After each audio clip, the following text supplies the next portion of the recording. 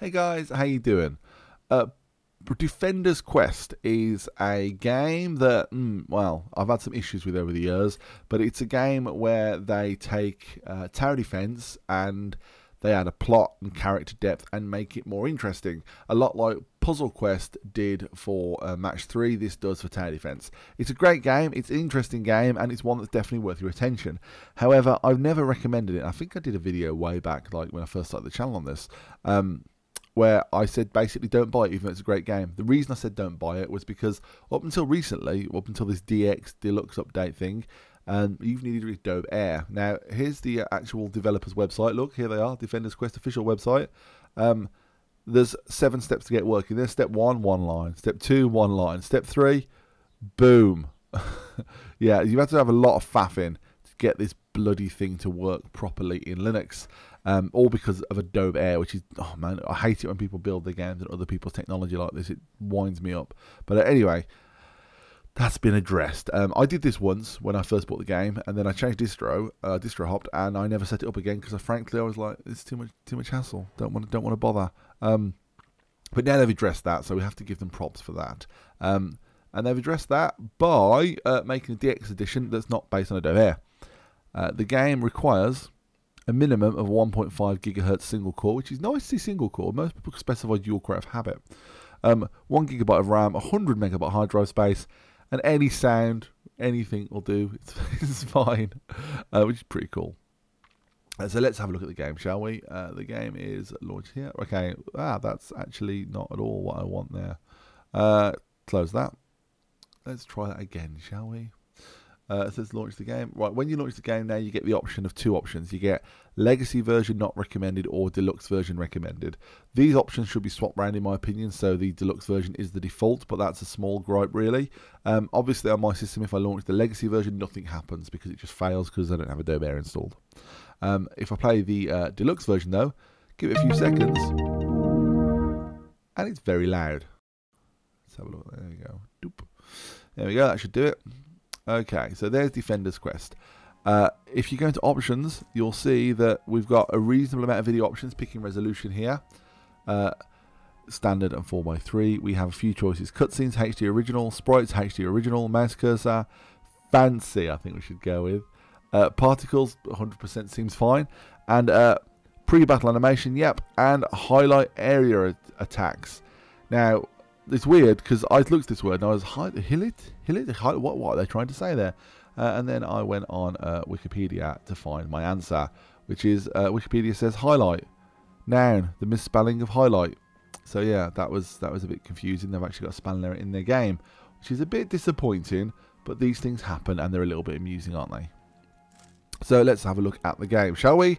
Uh, start a game. We'll start a new game. Uh, new game. Play. That's right, I'm calling my character Sexy Hexy.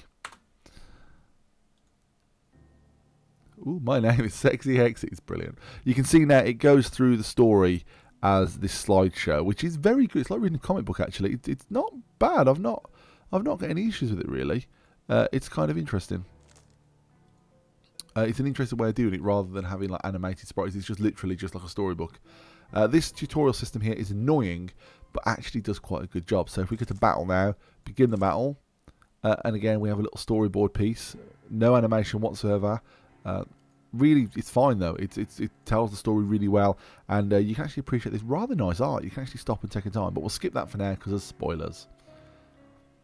Uh, right, the tutorial, oh there we go, a little bit more dialogue, and then we get the tutorial pop up to start. This is your main character, she can't move.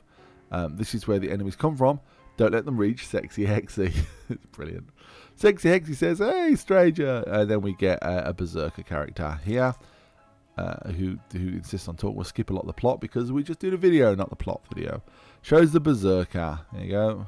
Select the Berserker, and it tells us where to put him. So obviously we want to put our Berserker there. Yep, this is a good spot. Uh, and now we'll see the tower defense glory. Let's just skip all this. We know how to play this. Uh, speed one. Okay, there you go. So the bad guys come Let's put on speed. There you go. The bad guys come, and then when they're in range, he takes a swipe. Very straightforward tower defense. As the as the game goes on, you get these boosts. Look, so you can use 50 of. Oh, hold on, let's get past this. Well, we hit the boost button when this, as the game goes on, this PSI thing builds up. You hit boost, and the idea is Sexy Hexy uses her magic powers to boost this character, who then can uh, be more killy and more stabby uh, and get more damage, basically.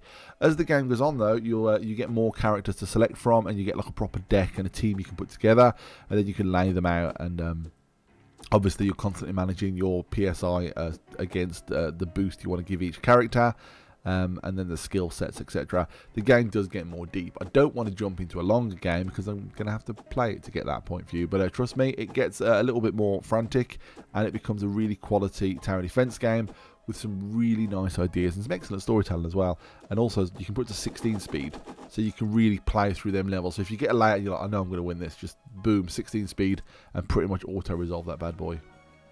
Here's the screen here uh, at the end of every level, where you get uh, where you get to level up if you've got enough points, uh, and you get to level up your dudes as well. And obviously, there's just each one's got their own skill tree.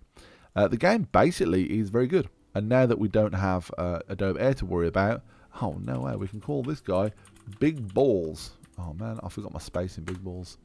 What am I doing?